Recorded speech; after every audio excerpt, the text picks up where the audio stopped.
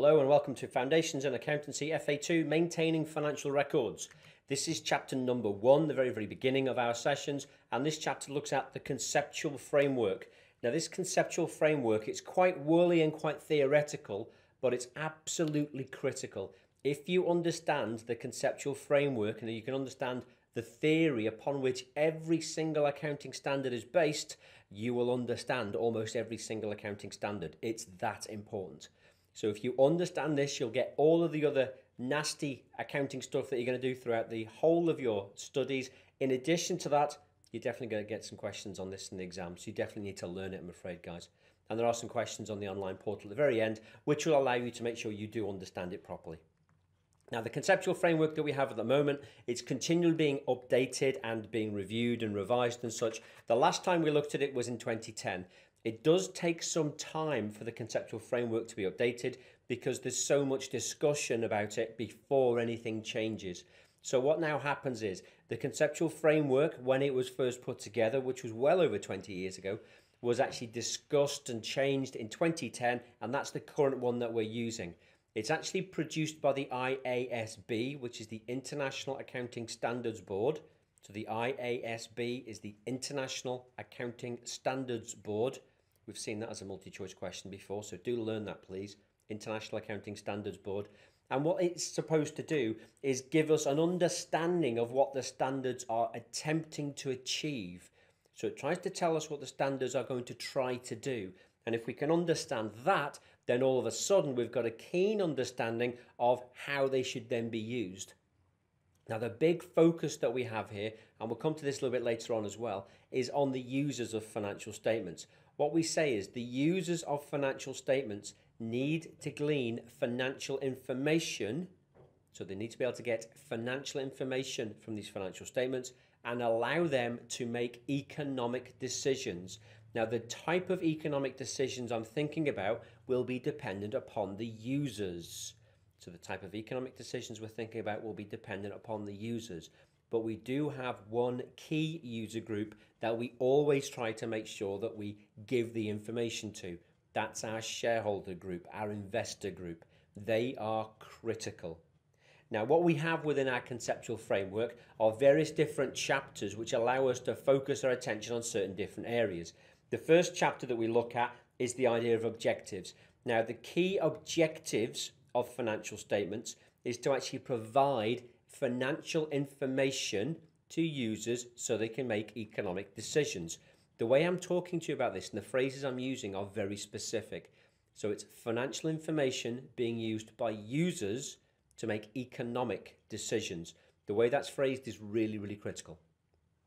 Then what we need to do is we'll have a look at the qualitative characteristics of financial information, which will mean that our users can hopefully understand it. There will then be various different underlying assumptions. And then once we have the underlying assumptions, that tells us exactly what we're trying to achieve, how we're going to do it.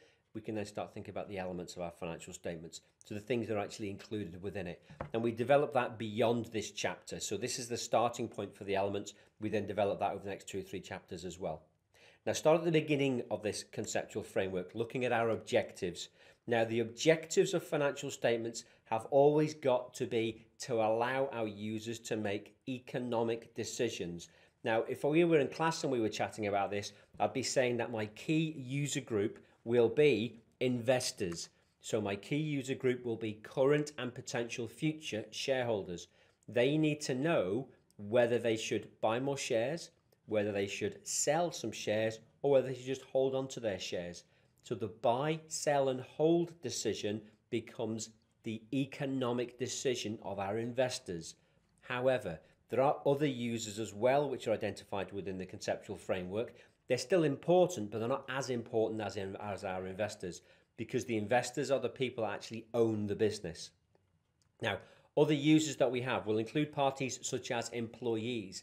And employees want to make sure that they get paid on a regular basis and they want to make sure that they have an element of job security and potentially some sort of element of progression, maybe a career progression over the next number of years. So I need to make sure that the business is going to be a safe and secure one. From a lender's perspective, lenders aren't necessarily interested in long term security, but they are very interested in short term security. So they need to make sure that the business will be in place in the short term such that their loans can now be repaid. Now, notice we've got different time horizons here. This is important because the economic decisions our users will make will be different and they'll have different time horizons. Therefore, they need different types of information. So, employees and investors might be interested in longer term profits. Lenders are interested in shorter term cash flows. So, that now means we need to make sure we can achieve all of their objectives with one set of financial statements. This is one of the reasons why we have things such as our profit and loss account, our statement of financial position. The statement of financial position tells you where we are today. The profit and loss account tells you how we got there, and therefore you can predict what's going to happen next year. We also then have a cash flow statement. And as you develop your studies, when you come to the next paper, we look at the cash flow statement in a lot of detail. We don't really hit it here, but it is something which is important to certain users. Other users that we have will include suppliers and customers. And suppliers and customers want to make sure that you will be in business for the next maybe year or so so that they can continue to supply goods to you or to make sure that you can continue to service the warranty of the goods that they've, they've just purchased. So customers need to make sure that their warranties will be serviced. Suppliers need to make sure that their business will stay in business as well. They could both be very important. We need to make sure the financial statements actually adhere to that and give these users the information that they need. In addition to that, we've got governments who are looking for generic information about how well businesses are doing, about the general economic environment, and whether they should change their economic policies to potentially improve prospects for business, or maybe they're trying to slow the, the, the business world down, where they're trying to take the heat out of the economy. In that type of situation, they may raise interest rates, they may lower interest rates. It all depends. The general public are interested in that type of economic cycle, but they're also interested in environmental issues. So the general public are very interested in how many rivers you've polluted, how much radiation is produced by your nuclear power plant, those types of things. So we need to get that type of information into our financial statements as well. And this is why financial statements have got a number crunching element and they've got a narrative element where we have words. And the words will explain things in a nice simple fashion such that you don't have to be a qualified accountant to understand what's going on with this company. And that can be really important to me as well. So that's the first part of our conceptual framework, looking at users of financial statements. The second part looks at the qualitative characteristics. Now, these are the qualities surrounding financial information. And what we have is two different sets of qualities. So, the two different sets of qualitative characteristics. And what we're going to do is we're going to look at fundamental characteristics first, and then we'll have a look at the enhancing ones later. Fundamental are absolutely essential. So, fundamental qualitative characteristics are absolutely essential. And the qualitative characteristics that we're looking at from a fundamental perspective include things such as relevance. We need to make sure that the information that we're producing is relevant to the people making the economic decisions. Now, as we went through our users, you'll note that I said they have these types of decisions, therefore, they're looking for this type of information. That now means I need that type of information to be included within my financial statements. Otherwise, it won't be relevant to that user group. If you have information and it's not relevant to any user group, don't bother putting it in the financial statements. And if you ever need to decide whether to put something into the financial statements or not, always think about is it going to be useful? So, is this going to be useful to my users? So, is this going to be useful to my users? From a faithful representation perspective, we're looking at whether or not this type of information that we produce is going to be absolutely complete. And this ties in quite nicely with your MA1, MA2 studies. And what's going to happen here is you need to have an understanding of the accurate mnemonic. So do you want information to be absolutely totally complete? So do you want information to be absolutely totally complete?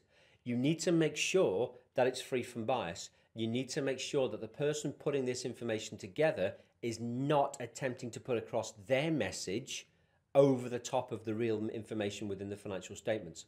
That type of neutrality or free from bias is also called objectivity. So you have to be objective. That's critical to us. And when you come to look at the ethical modules, we'll, we'll talk about objectives such as objectivity in much more detail.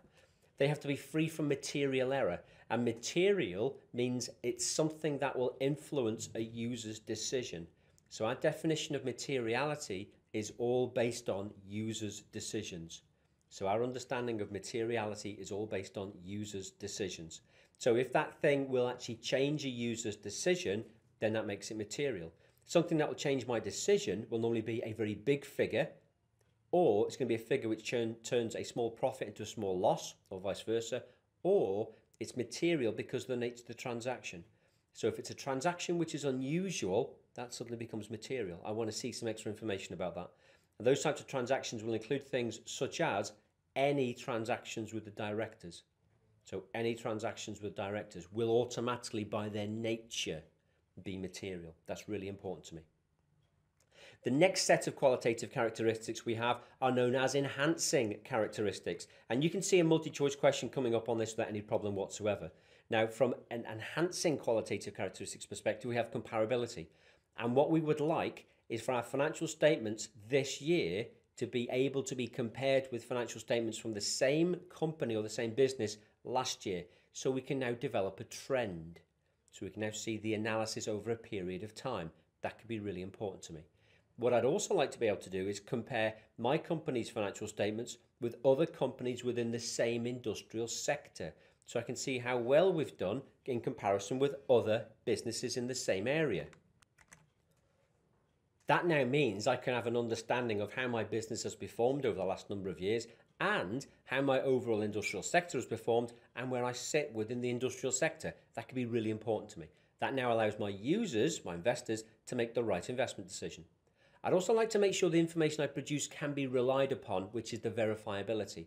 And what we have here is an auditing process which allows an independent party to review some of this information to make sure that it looks like it's reasonable. Also, timeliness. If you gave me a set of financial statements that were 10 years old, I probably can't make that much use of that. So, what, what I say here is, I'd like to see this financial information reasonably soon. However, don't produce it immediately because I know you need to do some extra checks on it. And also, understandability. I need to make sure that my users can understand exactly what's going on. Understandability is included within things such as standard sets of financial statements, so standard layout, a standard template for our key primary financial statements. So my statement of financial position, my profit and loss account, has got a bog standard format that everybody knows and understands. So once you understand that, you should be able to review any set of financial statements on the planet.